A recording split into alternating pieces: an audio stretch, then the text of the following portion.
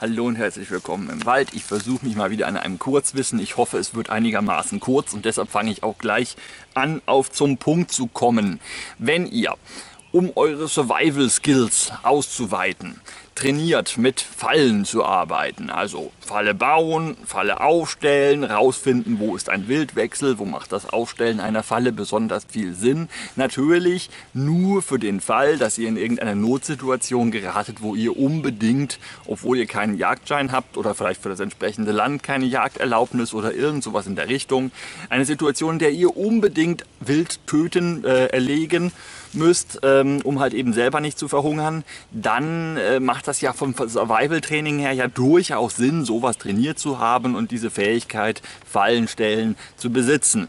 Soweit, so gut. Jetzt ist das Problem, dass der eine oder andere Bushcrafter, der das trainiert, oder Survivalist, ähm, der das trainiert, sich eigentlich schon beim Training strafbar macht. Denn ähm, das Gesetz dazu ist ein sehr, sehr, sehr, sehr strenges. Ähm, das liegt daran, dass schon sehr viel Schindluder bei der Fallenjagd getrieben wurde und da die ja, sagen wir wie es ist, die Tierschutzlobby, nicht, dass das jetzt in diesem Fall was Schlechtes wäre, ähm, sehr viel Einfluss darauf genommen hat, dass bei der Fallenjagd ganz, ganz, ganz, ganz strikte Regeln gelten. Ähm, wer mit der Falle jagen darf, hat eigentlich nur zwei Möglichkeiten.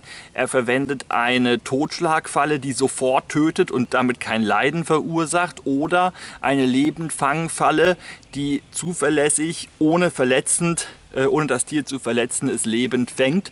Diese muss dann auch sehr, sehr rasch regelmäßig kontrolliert werden.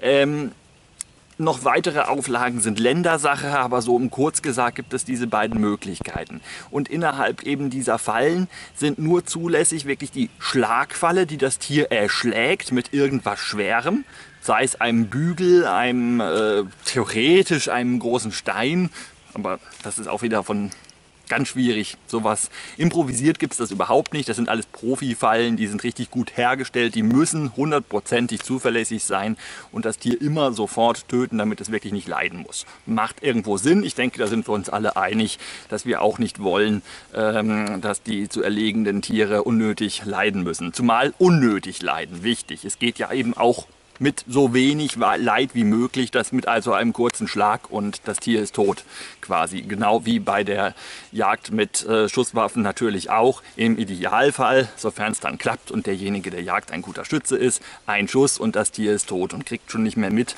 ähm, wie es da zappelnd am Boden liegt. Für Nichtjäger teilweise ein bisschen schwer zu ertragen, wenn man mal sieht, wie ein Reh geschossen wird, das dann noch ganz oft lange vor sich hin zuckt, wenn ihr das mal seht, in irgendeinem x-beliebigen Video oder in einem Film oder sonst wo, oder mal selber mit auf eine Jagd geht, äh, das Tier ist schon tot, wenn es da liegt und zuckt. Das sind nur noch die letzten Nervenbewegungen, da werden noch so Nervenimpulse vom Hirn ausgesendet, das kriegt nichts mehr mit. Da können wir uns ziemlich sicher sein. Das ist wie mit den Hühnern, wenn man denen den Kopf abschlägt, wer noch geschlachtet hat oder Großeltern hat, die das noch getan haben, oder sogar Eltern oder sogar selber das mal gemacht hat, ähm, weiß das auch, wenn du dem Huhn den Kopf abhaust, oder ihm die Kehle durchschneidest oder was, dann kann es auch sein, dass noch eine ganze Weile rumflattert und ähnliche solche Dinge. Also das ist alles schon vorgekommen. Gut, Jetzt schweife ich ab, das wollte ich doch gerade in diesem Video vermeiden. Die Schlingenjagd speziell ist jetzt so ein Bereich, wo wirklich ganz, ganz viel schief gehen kann. Da kann das Tier enorm leiden, wenn es zum Beispiel nur mit der Pfote in die Schlinge gerät. Es gibt auch Fallen, die darauf eben ausgelegt sind.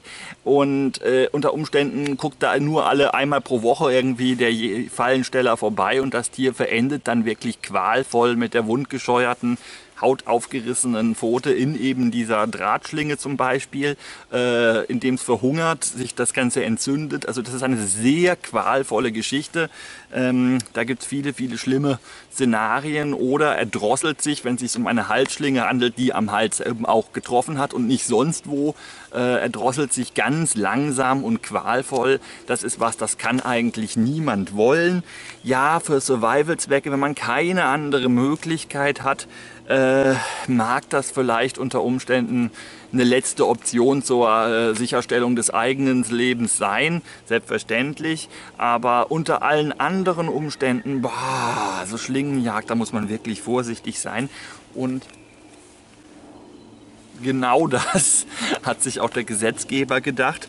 Ähm, und einen der vielen Absätze, ich glaube es sind 16 oder noch oder 5, 16, 16 glaube ich, im Paragraph 19 des Bundesjagdgesetzes entsprechend angepasst. Und man muss wie gesagt nochmal dazu sagen, in diesem Fall ist es ja gut, die Tierschutzlobby hat da auch mal entsprechend mitgewirkt. Äh, die Jäger an sich sind sich aber auch einig, dass das definitiv eine gute Regelung ist. Ähm, verboten ist, Schlingen jeder Art, in denen sich Wild äh, fangen kann, herzustellen, feil zu erwerben oder aufzustellen. Gehen wir das nochmal ein ganz kleines bisschen detaillierter durch. Schlingen jeder Art, also völlig egal was, ob die aus Naturmaterialien oder Draht oder was auch immer ist, wenn sie geeignet ist, dass ich ein Wild egal welches Wild ähm, drin fängt, dann ist es verboten, diese herzustellen. Schon allein die Herstellung für Trainingszwecke, auch im Sinne des Survival-Trainings ist, wenn man das Jagdgesetz entsprechend auslegt. Ähm, und das ist ziemlich eindeutig, dass das der ein oder andere Richter mit Sicherheit auch so tun würde. Da bin ich mir wirklich ziemlich sicher, ähm, ist schon eben die Herstellung zu Trainingszwecken verboten weil man wirklich vermeiden möchte, dass diese Dinge auch nur irgendwie ansatzweise in Umlauf kommen. Man hat halt bei dem Gesetz nicht dran gedacht, dass irgendjemand auf die Idee kommt, Survival-Training zu betreiben. Das äh, ist in diesem Gesetz nicht vorgesehen. Natürlich darf man die Dinger dann auch nicht verkaufen, man darf sie auch nicht kaufen und man darf sie nie, schon gar nicht aufstellen. Und das gilt auch dann, wenn man sie nur ganz kurz aufstellt, um zu testen, ob sie denn funktionieren und nur einen Stock in Anführungszeichen damit fängt, um zu testen, okay, in einem Ernstfall hätte das jetzt mit dieser Falle möglicherweise funktioniert, dass ich damit tatsächlich ein Tier erlegt hätte. Sowas ist schon verboten. Das Ganze ist in Anführungszeichen nur eine Ordnungswidrigkeit, wenn ihr sowas macht. Äh, das Aufstellen zu Trainingszwecken in Anführungszeichen. Solltet ihr damit natürlich was erlegen, ist es selbstverständlich Wilderei. Aber nur das äh, Hantieren das ist schon strafbar. Was das kostet, kann ich euch nicht sagen, aber es ist vielleicht einfach mal so just to know, ganz interessant, wie drastisch das mit diesen Schlingfallen geregelt ist. Es gibt demzufolge auf YouTube den einen oder anderen, der sich mit dem einen oder anderen Video, in dem er solche Schlingfangen herstellt, da gibt es ein paar, nach deutschem Jagdgesetz eigentlich, ja strafbar kann man nicht sagen, wenn es nur eine Ordnungswidrigkeit ist. Ich weiß nicht, ob das strafbar der richtige Begriff ist. So wert Jurist bin ich nicht. Aber im Prinzip, wenn jemand wollte, dann könnte er unter Umständen das schon als Material benutzen, um da entsprechend eine Anzeige ähm, aufzugeben. Theoretisch. Praktisch weiß ich nicht, ob das jemals vorkommen wird oder schon vorgekommen ist. Ich möchte einfach nur, dass ihr es wisst. Jetzt wisst ihr es und könnt euch entsprechend verhalten. Mir Wurst, wie ihr damit umgeht. Ich wollte es einfach nur just to know gesagt haben. Macht's gut!